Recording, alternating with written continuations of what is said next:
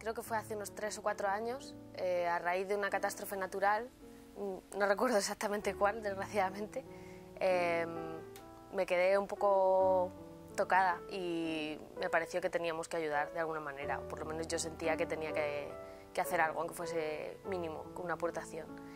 Y mm, bueno, eh, pregunté a mi padre, que ya era socio, él me habló de Save the Children, me gustó su proyecto, me gustó que llevaba mucho tiempo, tenía mucha experiencia, eh, tiene muchos proyectos en varios países con presencia permanente, no solo de modo temporal, también tiene proyectos en España, está orientado a la infancia, que yo quería que estuviese, mm, que fuese específico en algo, que no abriese a lo mejor demasiados campos.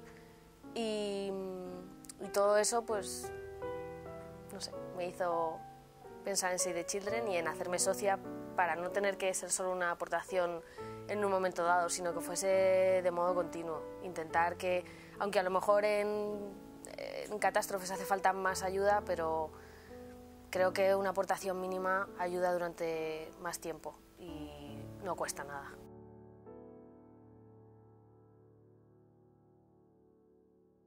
Yo supongo que cuanto más información mejor, porque desde luego así sabes de primera mano todo lo que se está haciendo. Eh, en mi caso, tal vez la, la, la, que hay hoy por hoy es suficiente, pero yo pienso que cuanta más información siempre, siempre es mejor, porque por lo menos no será que tú no sabes lo que se está haciendo. Tú puedes saberlo, otra cosa es que no tengas tiempo o tardes en leerlo, pero así puedes saber lo que se está haciendo.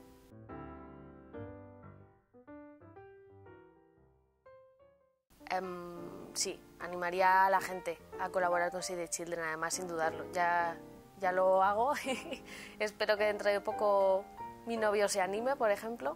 Eh, pero sí, yo creo que es, es algo muy sencillo y no, no, requiere, no requiere esfuerzo. O sea, y, sobre todo da, da, confianza, sabes que y ves resultados.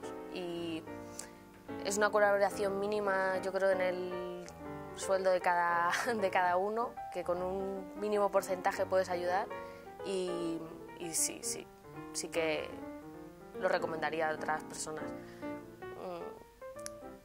Yo es la experiencia que tengo, entonces es buena experiencia, por lo que cualquiera que me pregunte le, le indicaré que, que, lo haga si quiere y desde luego recomendaré esta organización, que es la que yo conozco y es la que a mí me satisface.